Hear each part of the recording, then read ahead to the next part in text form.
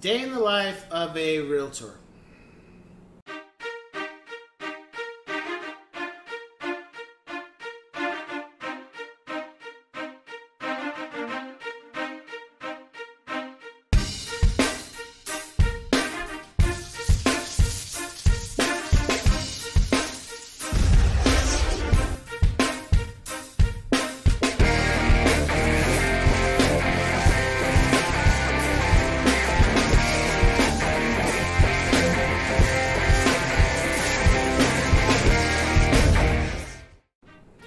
What's going on, ladies and of Cyberland? Coming back to you with another educational video, and this time we're going to go into um, my typical day as being a realtor. What is it that I do normally during the day? So, normally I would get up in the morning, and depending on the time, I'll do some cardio, trying to work on that. I will lift, take some protein and then get freshened up. Depending on the time now we're looking at, either get the, the kids up for school, or I will look at is there anything that you know I need to do in regards to my emails, check those really quick, and then get the boys up for school. After that, it'll be again looking at my emails, seeing what I already have planned for the day, which is an open house, uh, making a couple phone calls, touching base with my lenders or touching base with my mentor.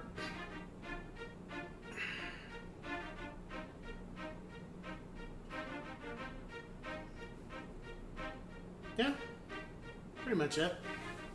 Normal day. And I'll just run it through. What I try to do too is when I have things like if I have to, if I'm making content, or I'm doing editing also at, this, at the time. Um, I try to do that while I'm at my open house, meeting clients, making uh, touch base phone calls, follow ups. Try to do that while I'm at open house so I don't have any wasted time. The other thing is I try to make sure that I can schedule things um, accordingly, or if I have things that can be do, done now, I do it now as opposed to waiting until later. This is why. As a realtor, you're going to get a lot of curveballs. They're not going to come when you expect them, they're just going to show up. So, if there's something where you have an emergency where you have to go here to do this, you have to do that. You can only be in one place at one time. So, make sure have somebody you can rely on if you can't make it, or make sure the stuff that you could have done earlier is already done so you can handle these curveballs. Sometimes, well, I wouldn't say sometimes, but you can kind of get in the habit of being like, well, I'll do it later, I'll do it later. If you have time to take care of a situation now, then do it now. So, things come down later, you're able to take care of them if needs be, if they do come.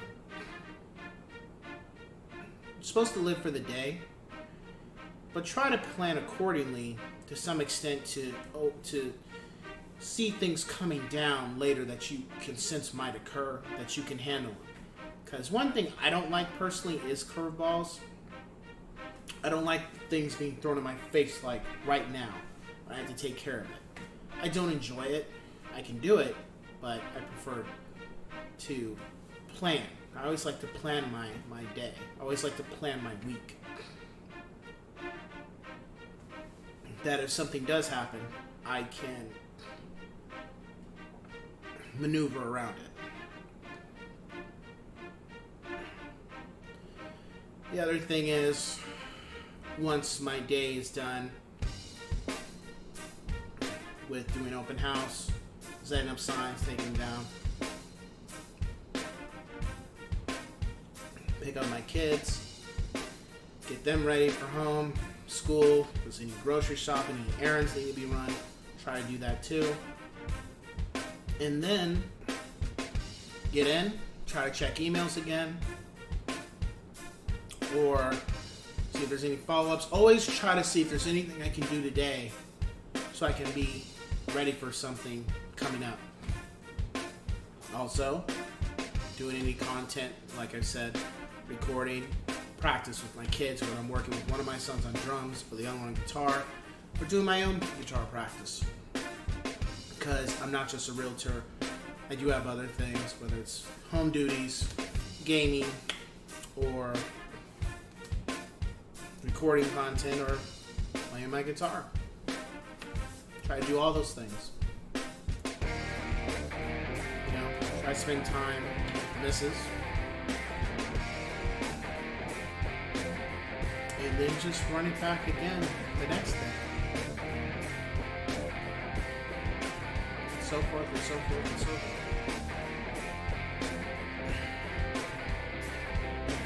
I think at the end of the day, it's just, you know, being productive and making sure that the time you're utilizing is planting seeds, as I've been told. Later down the road, like down three months later, that's going to help you continue to uh, generate business for yourself.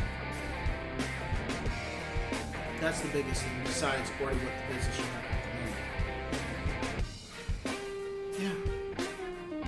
So with that being said, if you have any questions or concerns, feel free to contact me. And I will catch you guys on the next one. Take care.